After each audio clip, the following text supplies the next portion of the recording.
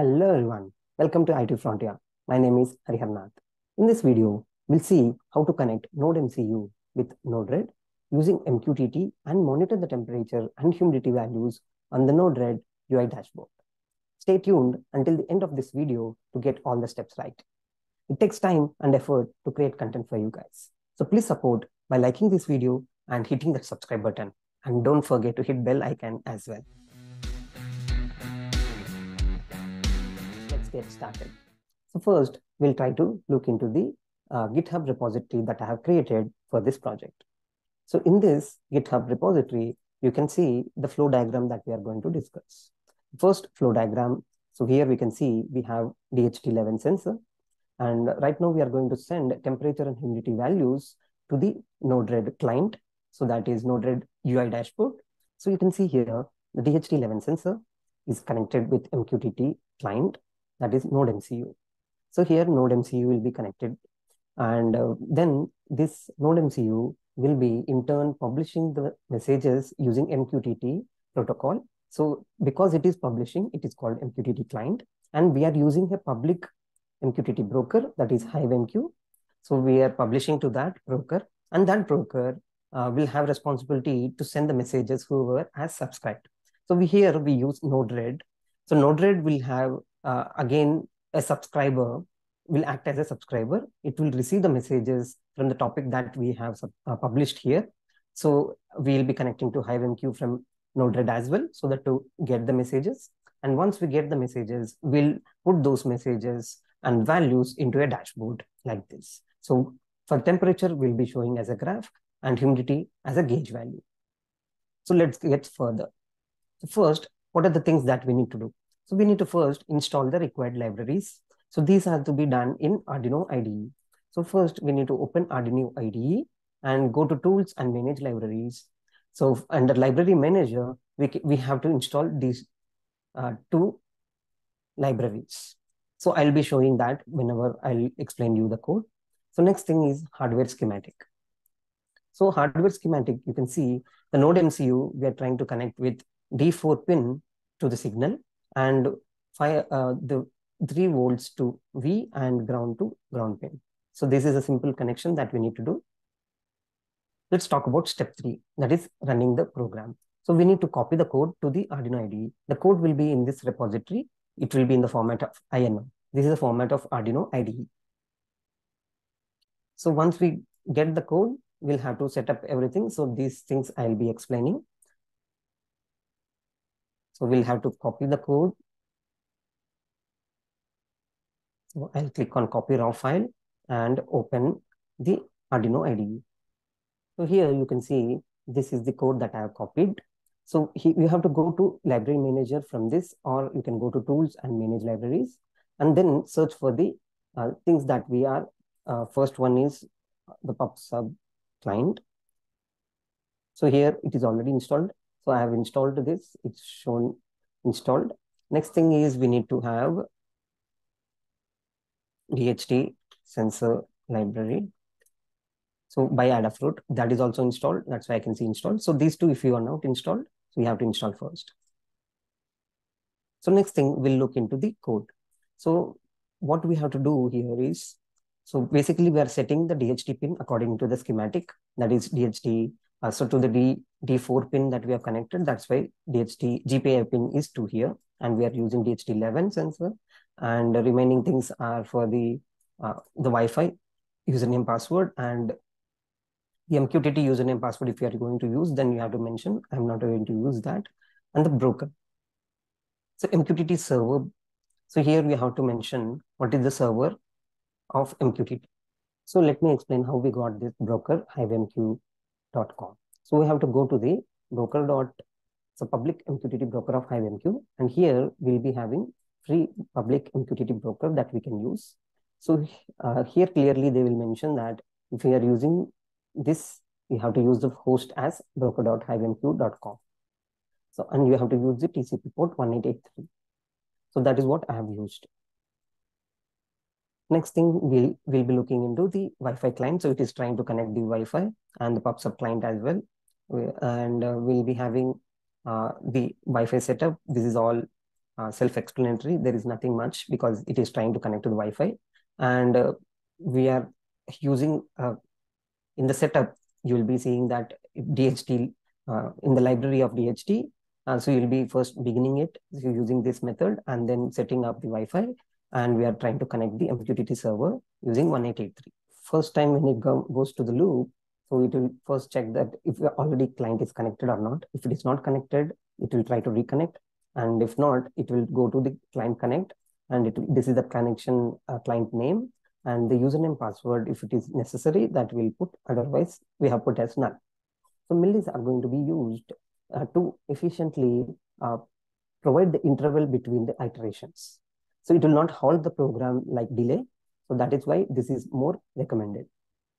Next, we'll be using the uh, reading the humidity values and temperature values both in Celsius and Fahrenheit. And uh, we'll be using client.publish to publish the values in string. So this is the topic that we are going to publish. So IoT frontier slash temperature, we'll be publishing the string value of temperature. And here as well, the IoT frontier slash humidity will be publishing the humidity values in string. And then we'll be using serial uh, communication as well so that we can debug the code in serial monitor. So now what we can do is we'll, we can connect Node MCU onto the laptop. Uh, the COM port got added here. This is what I need to select and I'll select correct board. And now I'll try to upload the code. So before uploading, you have to also make the connections of DHT11 uh, so using the schematic that we have explained with NodeMCU. Once that is done, you can upload the code. So it will try to compile and upload the code.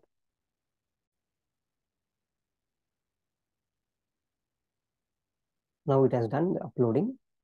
So we can see the code has been uploaded.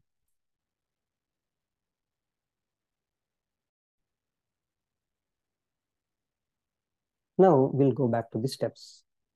So now we have followed this running the program, uploading the code. Now let's check the monitor the values in serial monitor.